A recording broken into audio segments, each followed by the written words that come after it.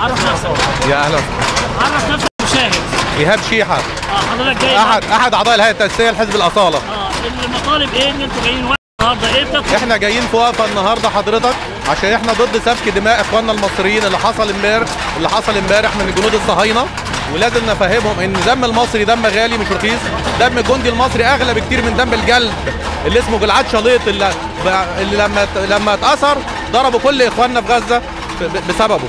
فدم المصريين إن شاء الله يكون الرد أعنف بكتير من ردودهم على اللي هم عملوا. قاموا بيه هل الجمعة القادمة ستشهد مليونية لاقامه السفير المصري الإسرائيلي من مصر؟ أنا لست لست لست ادعي لمليونيات ولكن إذا كان في مليونية ساكون ممن ي- من الأوائل اللي سي- سيكون سيكونون فيها إن شاء الله وسيكون حزبنا من أوائل الأحزاب اللي موجودة فيها.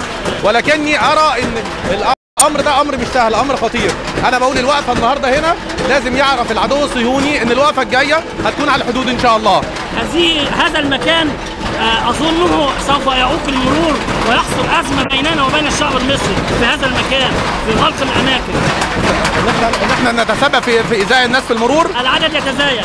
إن شاء الله سنساهم في تنظيم المرور. لن لن نتسبب في اذيه المرور إن شاء الله. اعضاء الهيئه التاسيسيه لحزب الأصالة. أهلا بيك آه سؤال. المطالب إيه المطالب النهارده لا والله إحنا دلوقتي يعني إحنا كنا فاهمين آه، إن ده كان ممكن متوقع يحصل أيام مبارك لما الأحداث دي حصلت وما كانش فيه رد فعل وما كانش فيه أي اتخاذ قرار. لكن مش مفهوم إن يحصل كده من الحكومة الموجودة حاليا اللي جت بإرادة الشعب. فإحنا عايزين نعرف من الحكومة ديت هل هي في صف الشعب أم في صف اسرائيل وأمريكا؟ كما كانت الأنظمة السابقة. يقولوا لنا عشان نقدر على هذا الضوء الرد بتاعهم نتخذ موقف منهم.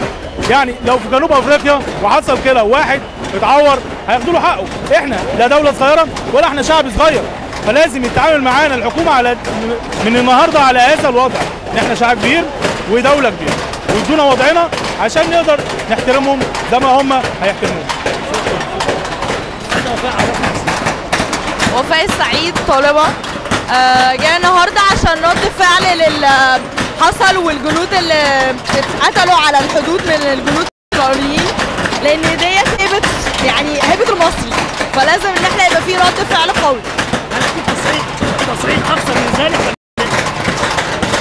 هو إحنا نتمنى بس ما مفيش حاجة قدامنا غير كده. يعني إن إحنا بنطالب إن هو آه، اغراق السفارة هنا في القاهرة هي ال- القنصليه في اسكندرية اغرقت وطرد السفير الإسرائيلي من مصر هل هيستمر هذا الاحتجاج لمتى؟ لغاية ما المطلب يتحقق يعني لو تتجاهل الحكومة المصرية هذا المطلب إيه اللي هيحصل؟ عايزين وفي اعتصام 9 9 انت فاكره المرة اللي فاتت قدام السفارة الإسرائيلية حصل إيه؟ فاكرين وعايز إحنا وحشنا ريحة الغاز